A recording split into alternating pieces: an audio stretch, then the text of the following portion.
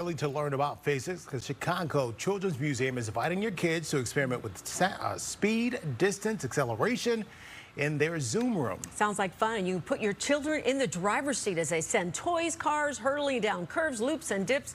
We sent our own Tim McGill out there. Looks like a lot of fun, Tim. It is a lot of fun. I'm at the Chicago Children's Museum, one of my favorite museums in all of Chicago. You know, it's huge, about 60,000 square feet, three floors worth of fun. They, they like the power of play here. And before we get into the actual exhibit, I want to talk to Natalie Bartoli here. Thanks for joining us. Appreciate it this morning. Thank you. So tell people who have yet to have the privilege of coming to your museum, why should they come out?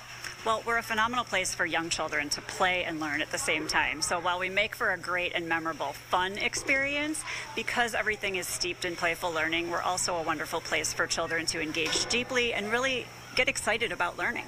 And you tell me you have how many people come through here over the past year? This past year, 228,000 visitors. So we see a whole lot of families here. Okay, so we're here today for the Zoom room. It's backed by popular demand, correct? It sure is. This is a fan favorite, I would say. And you know, it's really based on an intuitive way that children love to play, and that's with miniature cars and ramps.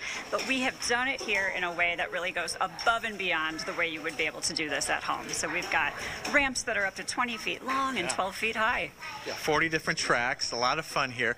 And, and you're trying to get the kids to learn something a little bit about physics too, right? Absolutely. You know, embedded in all of this fun and play is real science learning. So children are experimenting with concepts like distance, acceleration, force, and motion while they're playing. I, I, was a physics major, humble brag, at the University of Illinois, and I remember F equals ma, force equals mass times acceleration. Does that sound right? That sounds exactly right. Okay, I'm not sure if it's right or not, but it sounds good. Uh, so it seems like the kids just intuitively, like you said, they just know what to do. They just grab the cars and they go have fun. They do. It's a natural way of playing, and again, embedded in that is all of this rich learning. And I think, as you noticed too, even the grown-ups get engaged here. There's a certain nostalgia to this type of experience that really engages all ages. Okay, so I want to talk to Thomas.